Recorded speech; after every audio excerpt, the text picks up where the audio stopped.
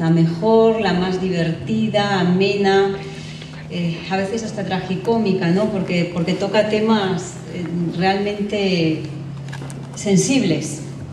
Y para, para hablar de la novela están aquí con nosotros dos grandes amigos de Fernando, eh, Gustavo Rodríguez, que es quien va a hablar en primer lugar, publicista y escritor. Yo no sé si ya prefieres que digamos escritor y publicista, quizá, ¿no? Me parece. Y, y Max, Max, Hernández, que es un conocidísimo psicoanalista y también un gran amigo de, de Fernando, que cerrará esta reunión para después dar paso al propio Fernando, que tendrá bastantes cosas que decirnos y tan amenas, divertidas e interesantes como siempre. Sin más, les dejo con Gustavo. Buenas noches. Gracias Mercedes por tus palabras y también quiero agradecer a Fernando por su cariñosa invitación a, comentar esta novela y por haberme dado la oportunidad de compartir mesa con Max Hernández, que es una persona que respeto tanto. Es un honor en realidad. Eh, como preámbulo a mis comentarios, eh, quisiera decir una, una idea suelta y es que Ortega y Gasset alguna vez reflexionaba que una vez que uno ama a un personaje, ama todo lo que haga, hace ese personaje. Si se dan cuenta, eso ocurre con nuestros hijos. O sea, cuando amamos, o sea, los amamos y cualquier tontería, estupidez que puedan hacer hará que se nos este, caiga la baba, cuando a otro puede parecerle algo totalmente, pues, este, eh, puede parecerle una tontería, ¿no? Creo que Fernando ha optado probablemente inconscientemente en esta estrategia, la que, la, la que Ortega se hablaba, porque es difícil no agarrarle cariño a Pedro José de Arancibia, que es el personaje de esta novela. Es difícil no agarrarle cariño cuando muestra asombro ante su país, ante este país desdoblado, y cuando se reconoce imperfecto también debido a su vanidad, debido a su forma de querer, a su forma de amar, ¿no? De la misma manera es que es difícil no agarrarle cariño a Fernando, digamos el, el alma melliza, no gemela, de, de, de, de, Pedro José, una vez que uno traspasa una barrera y conversa de verdad más de 15 minutos con él, ¿no? Eh, dicho esto, quisiera pasar a un ejercicio personal que me hice, o sea, que me obligué a hacer al leer esta novela. Yo siempre eh, he pensado que es, una, es inútil buscar respuestas en los libros. Creo que lo más sensato es buscar preguntas en ellos, quedarnos con preguntas que nosotros podamos resolver o intentar resolver de tal manera que al hacerlo, quizá nos conozcamos mejor en ese ejercicio. Entonces lo que yo hice fue, en la parte de, en la, casi en la última página de, la novela, yo agarré un lápiz y empecé a hacer preguntas. No he traído la novela porque ahí, consta. Y este, he recopilado las preguntas que más, digamos, me parecieron quizá más relevantes, porque hay, habían algunas que eran demasiado estúpidas, la verdad. Pero he traído algunas que de repente pueden ser interesantes para compartirlas y a ver si juntos podemos ensayar respuestas, ¿no? La primera que traigo acá dice, Pedro José de Arancibia dice en un pasaje de la novela que los peruanos siempre veneramos los lugares donde nos ha ido pésimo. Y menciona las plazas y parques dedicados a Arica, Reducto, Domodósola, que es donde murió Jorge Chávez, ¿no? Me pregunto entonces si en los, últimos años, en los últimos años los peruanos no estaremos tratando de cambiar desesperadamente esto. Si la comida o la tabla, o la tabla hawaiana, por ejemplo, no serán esos nuevos lugares de batalla en los que todos estamos de acuerdo en que nos puede ir bien. Si por más que suene chiflado, a la rica, a la rica de nuestra niñez o de nuestros padres, no le estamos tratando de contraponer mistura con un entusiasmo voraz, ¿no? propio de quienes se saben postergados. Mi siguiente pregunta tiene que ver con otro pasaje de la novela donde, Pedro, eh, donde se relata cómo Pedro José empieza a salir en páginas sociales con Amanda McNeil, su novia del momento, una artista plástica, y relata cómo los limeños tienen la guachafería de querer aparecer en esas fotos a toda costa. Es el síndrome Polizontes. Este párrafo me hizo recordar un congreso de escritores en Madrid hace cinco o seis años donde pude coincidir con, con Fernando ahí, estuvimos juntos en ese congreso y donde se dio una tristemente célebre discusión sobre los escritores peruanos catalogados como andinos y criollos, ¿no? Y recuerdo vivamente cómo en un momento de la discusión, como que saltó el meollo del asunto y lo que había era una queja, una petición de que los medios le dieran igual cabida a los llamados escritores andinos, ¿no? Entonces, me, me pregunto si no será que finalmente todo aquello en Madrid se trataba no se trataba de querer salir en la foto, no se trataba de obtener visibilidad finalmente. Aparecer en la foto, así entre comillas, no es para los artistas una forma más honesta de decir esa bendita frase que ya me tiene cansado, que se llama inclusión social. Siguiente pregunta.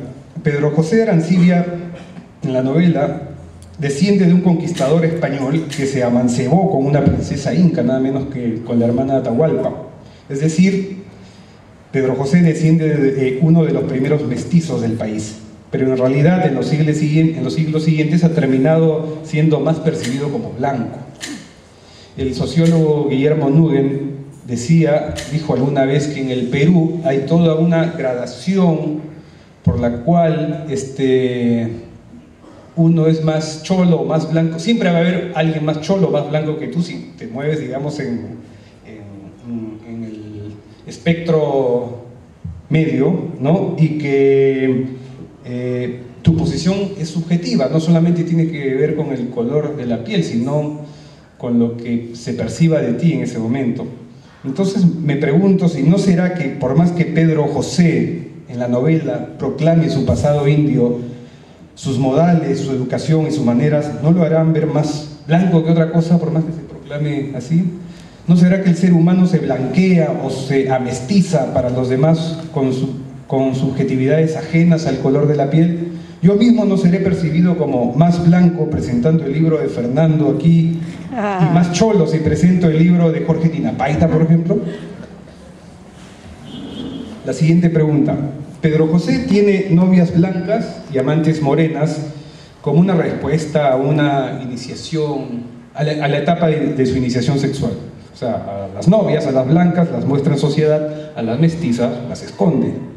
¿No será una forma de esconder el cholo que todos llevamos dentro? O a la primigenia madre india de la que habla ¿no? en la genealogía. Pedro José no deja de afeitarse ni un solo día de su vida. De una manera análoga a lo que dije en su momento, pero buscando lo contrario. Afeitarse todos los días, sin excepción, no es una forma inconsciente de quitarse la piel de dejar salir al indio enterrado, siguiendo el paralelo entre las novias y las amantes, Pedro José es periodista y también es escritor. Si el periodismo y la literatura fueran mujeres, en el caso de Fernando, me pregunto, ¿cuál sería la esposa y cuál sería la trampa? Siguiente pregunta. En un pasaje se narra cómo Pedro José entra jovencito a trabajar en caretas y la mítica Doris Gibson se encarga de llamarlo todos los días para despertarlo. Me pregunto, o sea, yo siempre me imagino a las madres o a las nanas diciendo, despiértate y anda al colegio, despiértate y a trabajar. Y me cuesta imaginarme a Doris Gibson llamando a decir, oye, levántate para trabajar, anda, váyate, ¿no? Doris Gibson no se habría erigido simbólicamente en la figura materna que a Pedro José le faltó, no le habrá ocurrido lo mismo con varias de sus amantes. Siguiente, en una, escena, de la novela, creo que esta es la pregunta más tonta de todas, Pedro José es jovencito y es testigo de, está en su bicicleta, es testigo del momento en que se deja de, en que se termine de construir el puente Villena en Miraflores, este,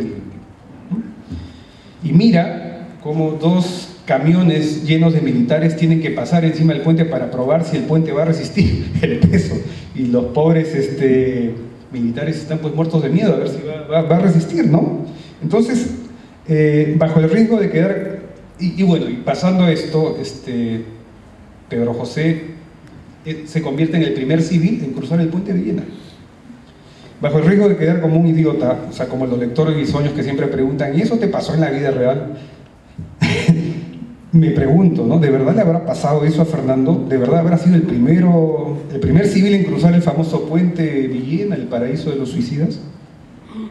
En la novela, Pedro José se anima a hacer puente, de este puente, ¿no? ese deporte de lanzarse, ¿no? este, amarrado con una soga elástica, y hace un paralelo entre el temor al vacío y el temor ante la hoja en blanco. Como novelista, me pregunto, ¿no será que el temor a la hoja en blanco es, en verdad, el temor al compromiso? Porque un novelista, cuando ataca una hoja en blanco, sabe que tiene que terminar esa novela como de lugar y tiene que comprometerse a hacerlo. Y comprometerse a algo que va a tomar tanto tiempo y tanta energía da miedo. Y la última pregunta. Una vez le escuché a Alfredo Bryce una de las respuestas más honestas que le he escuchado a escritor. Cuando le preguntaron, Alfredo, ¿por qué escribes? ¿Por qué escribes? Él respondió, escribo para que me quieran más. Escribo para que me quieran más. Me pregunto entonces, Fernando, si no habrás peregrinado esta novela para que quienes estamos aquí presentes no te respetemos más, no te queramos más y no te abracemos más. Eso. Eh, muchas gracias.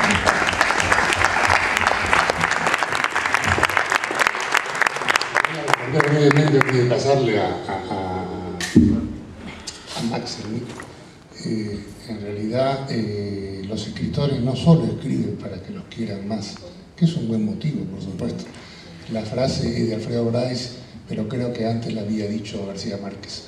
Eh, eh, y la verdadera razón que tienen muchos escritores para escribir es porque están enfadados con el mundo, están molestos con el mundo. Eh, aquí tenemos un personaje que, que, ya no vive en la Lima de hace 40 o 50 años, esa Lima ha cambiado, son muchas Limas, hay 50 Limas ahora, vive en conflicto con su medio y la novela en realidad es una gran historia de amor.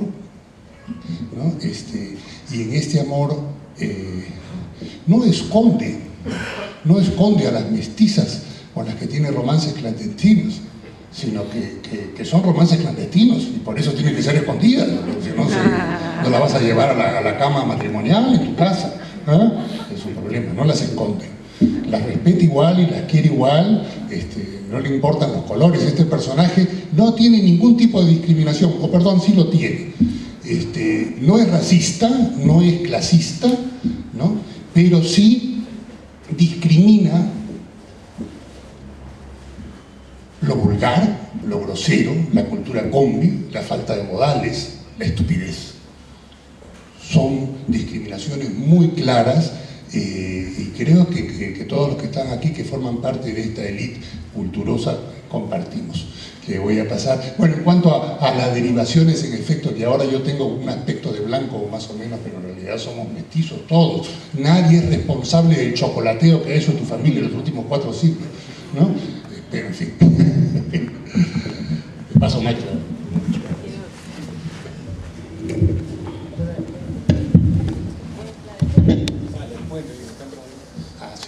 Puente cierto. Fui el primer, civil, el primer ciclista que cruzó el puente Villarreal.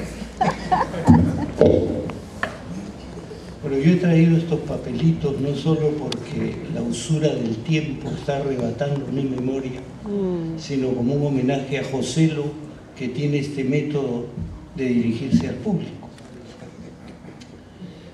Cuando comencé a leer las memorias de Pedro José, perdón, el libro de Fernando, inmediatamente me puse en contacto con mi colega y homónimo Max Hernández. Él, como ustedes saben, es un psicoanalista que trabaja acá en Lima y que vive también muy cerca del puente Villena. Y lo primero que me dijo mi colega es, oye, pero ahí se está mezclando, parece, la memoria y la ficción, la imaginación y el recuerdo. Puedes hacer dos cosas. O buscas a Miguel Justi y conversas sobre el tema. Pero a Justi ya no se lo encuentra en ninguna parte, le dije yo. O te vas a la librería de Chachi, que ha tenido la gentileza de mudarse tan cerca, y coges el libro de Riquelme sobre la memoria, el olvido y la historia. Y ahí te vas a dar cuenta que según una tradición en la que curiosamente, me dijo, convergen la tradición empirista inglesa y la tradición racionalista francesa, se piensa que la memoria es apenas una parcela de la imaginación. Me sentí muy contento. Pero él es muy dubitativo y me dijo, pero también otra tradición filosófica de mejor raigambre distingue muy claramente la memoria de la imaginación y plantea que confundirlas da lugar a todo tipo de confusiones de eso que se ha dado en llamar la posmodernidad. Yo le dije, ¿la posmodernidad? Sí, me dijo eso que Sagasti llama el orden global fragmentado. Le dije, entonces ya premunido de algunos conceptos, me puse a leer este libro y comencé a encontrar una serie de cosas verdaderamente interesantes.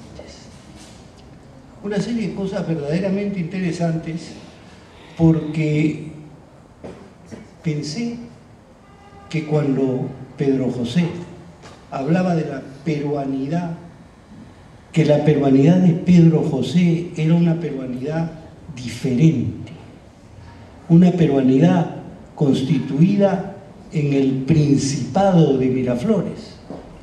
Acá está la embajadora de España y no solo hay principados de Asturias, hay también principados de Miraflores, que están por acá cerca. Entonces, en, este Principado de Miraflores se puede construir una forma de peruanidad que puede ir a contrapelo de otras maneras de sentirse peruano, pero que son maneras igualmente legítimas e igualmente importantes. Es una historia de amor, ciertamente, y una historia de amor es una historia complicada. Freud se atrevió, Freud y Lacan, por supuesto, se atrevieron a estudiar el amor. Pero yo me quedo con lo que dijo Cristeva. Para hablar del amor solo se pueden agolpar metáforas. Hablar de amor es hacer literatura o embarcarse en el silencio.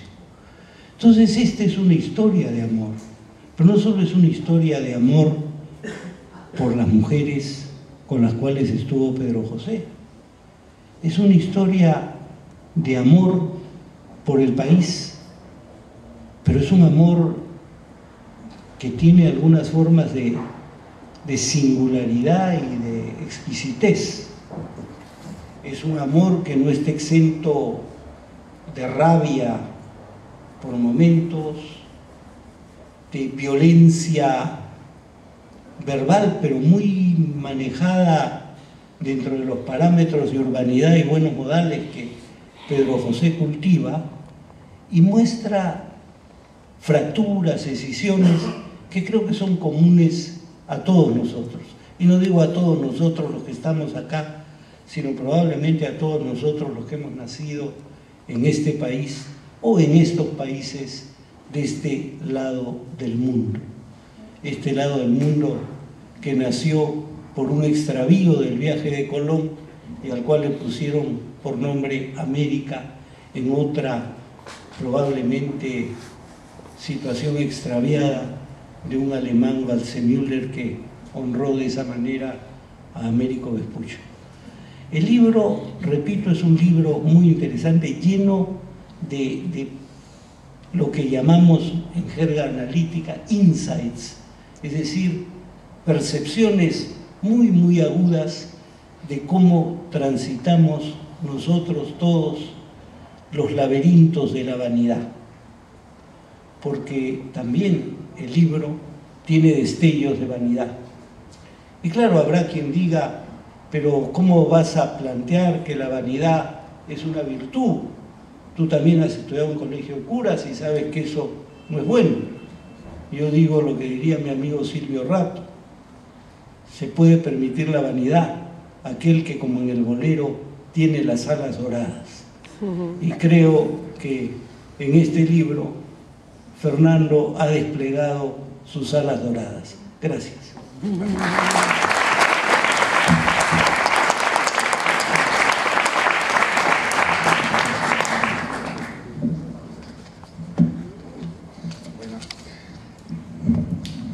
Yo también he traído un papelito, pero he olvidado los anteojos. O sea que voy a descifrar. Empecemos en todo caso por los agradecimientos. Mucho a la editorial Alfaguara, en particular a Mercedes González, a Melina Martínez y a Anaí Barrio Nuevo, sobre todo. Agradezco a mi amigo Carlos Llosa por prestarnos este local maravilloso de corriente externa. Y agradezco, por supuesto, a estos presentadores de lujo, que son este joven escritor Gustavo Rodríguez y eh, eh, Max Hernández, psicoanalista, intelectual de muchas luces, como se dice en la novela, y el hombre del acuerdo nacional, y que ayuda a ponerse, a, poner, a, que Pedro José, el personaje de la novela, se ponga de acuerdo consigo mismo. Eh, ya todos más o menos saben de qué trata la novela. La novela es una novela de amor a la peruana, diría yo, porque eh, eh, se, resuelve, se resuelve a través del mestizaje, como se resuelve la peruanidad. Este es un limeño que siente, que bueno, es un limeño de los años 60, que siente que ya no encaja en los códigos de conducta del nuevo país, ya no se identifica nada, ¿no? como muchos de nosotros, cuando nosotros teníamos 14, 15 años, este, se decía en todas partes que Colombia y Perú eran los que hablaban el mejor castellano, pues ya no, ya eso es un mito, ¿no? Uno prende la televisión y el castellano es un desastre, hablan cualquier cosa. Entonces, son cosas que lo van alejando, eh, eh, no, no, se va encontrando en este país que ama desesperadamente en el fondo de su corazón, eh, siente que tiene el chullo bien puesto en su corazón, digamos, ¿ah? pero no, no, eh, va encontrando una cantidad de abismos eh, que lo separan del resto de sus congéneres.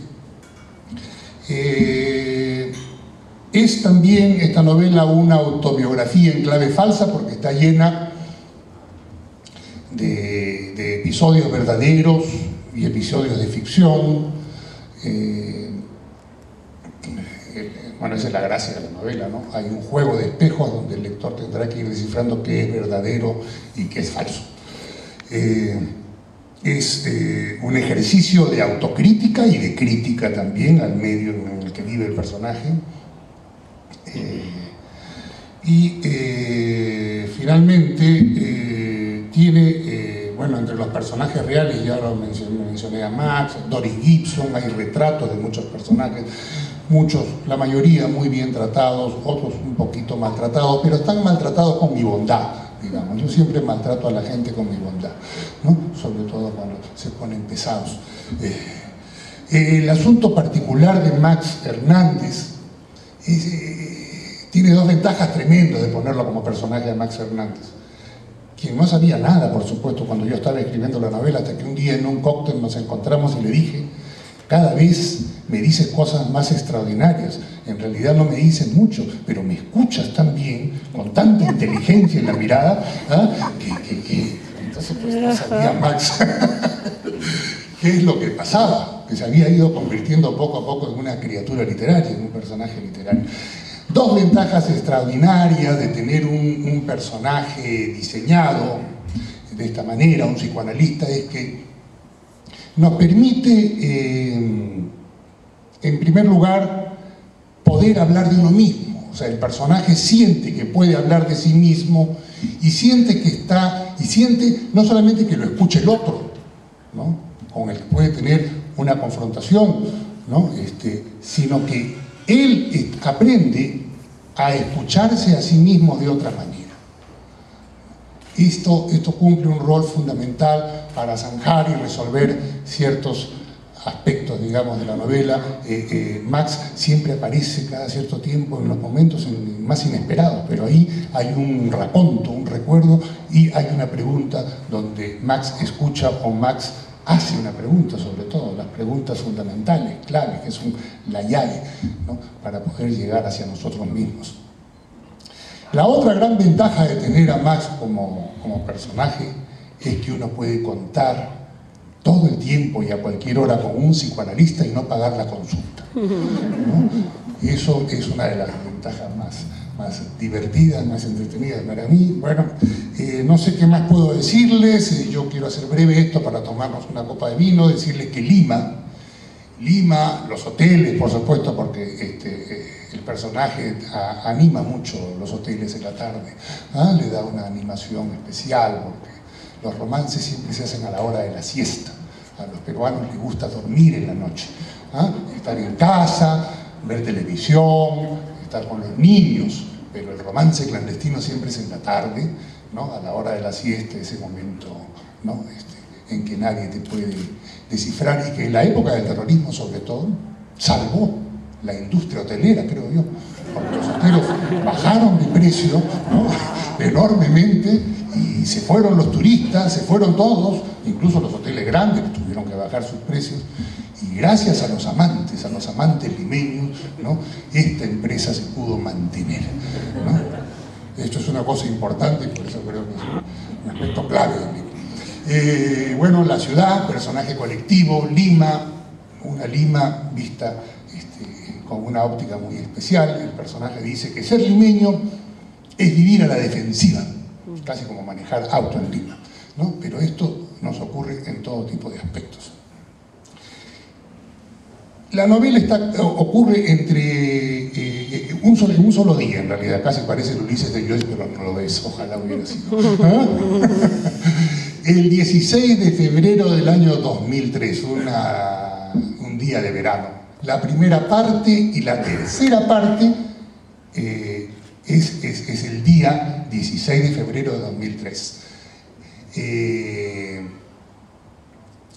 la primera parte se titula Una mañana de trabajo, el personaje se va y hace todas sus funciones de trabajo, y la tercera parte se titula Una tarde de descanso, donde por supuesto están romances incluidos. Eh, y al medio, interpolado, hay un gran bloque eh, que se titula ¿Cómo se hace un peruano? Una pregunta que ya resulta existencial. ¿Cómo se hace un peruano? Se responde casi con una novela de aprendizaje, una novela dentro de otra novela, con una serie de episodios tragicómicos que se van sucediendo. Eh, la respuesta de alguna manera está ahí. Yo creo que los lectores, conforme lean el libro, van a ir este, encontrando esa respuesta. En todo caso, en un primer momento, el personaje no se logra, no, no logra responder esta pregunta tan abismal, ¿cómo se hace un peruano? Él lo que dice es, yo lo que más bien sé cómo se deshace con la vida familiar, con la política nacional, con los sueños rotos. Esta es la historia de Pedro José, un alter ego que es y no es, así que por favor no se tomen tan en serio tanto las cosas, pero sí hay ya unos cuantos lectores este, que me han rendido testimonio y me han dicho que el libro pues está recorrido con una pátina de humor, que tiene mucho sentido el humor, ojalá sea así. Yo también lo he sentido así cuando lo escribía, pero no sabía si es que esto iba a funcionar. Eh, y espero pues que ustedes este, se diviertan y que se diviertan y que a mitad de una sonrisa o de una carcajada, si las hay, reflexionen un poco, ¿ah? que esa es la ambición la gran ambición que tiene todo escritor, todo novelista. Les agradezco a todos su presencia, acá hay un montón de grandes amigos, empezando por Antonio Cisnero, el doctor José Tola, mi amigo Bernardo Rocarén, Miro Quesada, Miro Quesada de los buenos, ¿ah? mi amigo Miguel Justi, ¿ah? el gran filósofo, están todos aquí, les agradezco muchísimo, bueno, no nombro todo lo demás porque voy a enumerar, ¿ah? les agradezco y pasemos, creo, a tomarnos una copa, ¿no? Y gracias.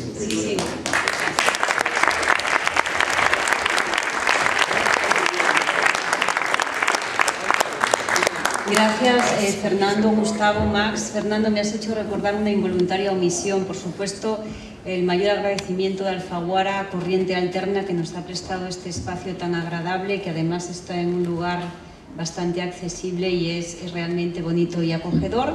Y ahora, como ha dicho Fernando, vamos a, a tomar un vino, eh, una gaseosa, quien lo prefiera, pero mm, la verdad, lo que dije al principio, creo que se hace frío, ¿eh? Me parece que nos va a venir bien. Llegaba corriendo y no me di cuenta. No me di cuenta de que cuando uno está sentado todavía no es primavera. Entonces, por favor, acompáñennos y por si no se han dado cuenta, a la entrada estamos vendiendo el libro. Les invito a comprarlo, está a un precio muy especial por esta noche. Igualmente lo van a encontrar en librerías, pero no desperdicien la oportunidad, por favor. Muchísimas gracias. gracias.